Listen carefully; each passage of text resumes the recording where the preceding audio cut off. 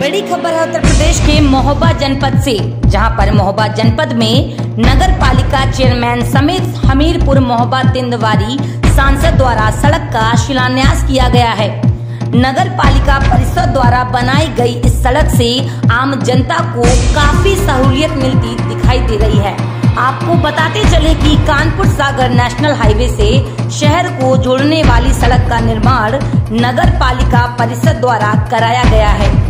शहर के हमीरपुर चुंगी से परमानंद चौराहे जाने वाली इस सड़क पर चार करोड़ से अधिक की सरकारी लागत खर्च की गई है। इस मौके पर जिलाधिकारी अवधेश कुमार तिवारी, सांसद पुष्पेंद्र सिंह चंदेल समेत नगर पालिका चेयरमैन दिलाशा सौरभ तिवारी की मौजूदगी में सड़क का शिलान्यास किया गया है।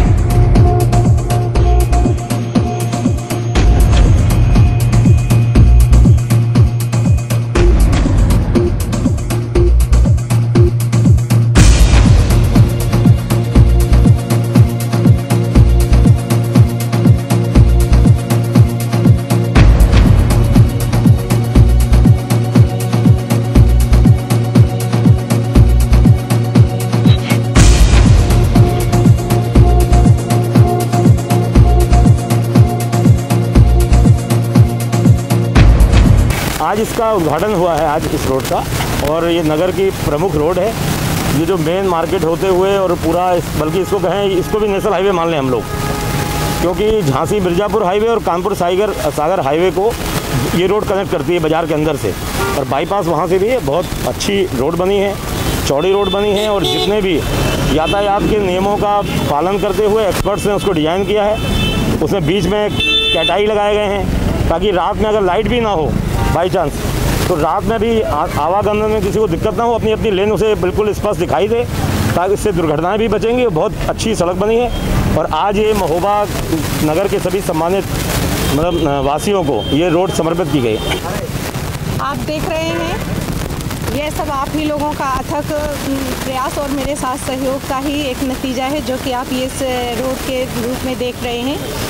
आज सबसे पहले तो मैं अपने पार्टी के जो संस्थापक थे, श्यामा प्रसाद मुखर्जी जी, उनका जन्मदिन है।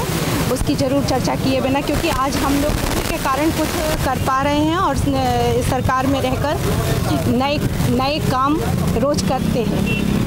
तो ये जो आप रोड देख रहे हैं, ये हमारे नगर के नगरवासियों को धन्यवाद देती हुए साधुवाद करते हुए उन्हीं को समर्पित करती हूँ, क्योंकि उनका साथ है तो हमारा विकास है। उनके ही साथ के कारण आज सब संभव हो पा रहा है और ये मैं उनको रोड दे पा रही हूँ। कोशिश करूँगी हमेशा ऐसे ही अपने शहर का विकास करती रहूँ और अपने शहर को दिनों दिन उन्नति के मार्ग पर विकसित करती रहूँ। यूपी लाइव टीवी के लिए मोहब्बा से नितिन नामदेव की ये खास रिपोर्ट।